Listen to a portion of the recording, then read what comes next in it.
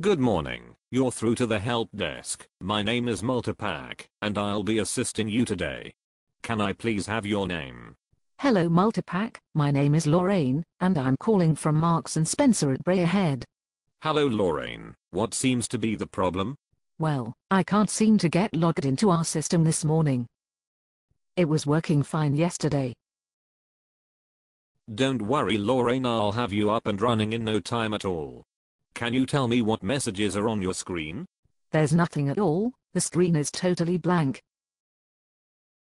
Totally blank? Yes, that's right, totally blank. Listen, I don't mean to be rude, but are you sure the fucking thing is even switched on? Of course it's switched on.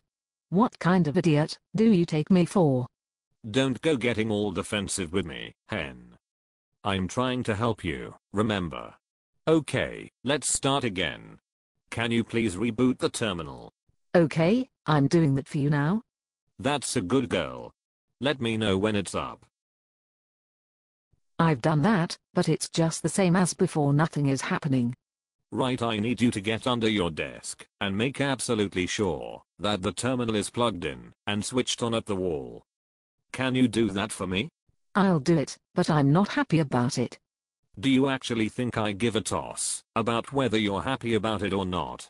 I'm not happy about having to talk to stupid bitches like you all day, but I still do it. Now get on the fucking floor and do the check, like I asked you. Right, I've had a look. That wasn't too difficult was it? So is it plugged in? Yes it is. And is it switched on at the wall? No. Sorry, I didn't quite hear you there. I said no, it isn't switched on. Jesus fucking Christ almighty. I sometimes wonder how some of you whores manage to hold down your jobs. Switch the fucking thing on and get back to work. Thank you so much sweetie. That's it sorted now. Before I go, is there any chance you could come for lunch on Sunday? It's Kizzy's birthday and Mo is making curry. That's fine mum. I'll see you about 1 o'clock.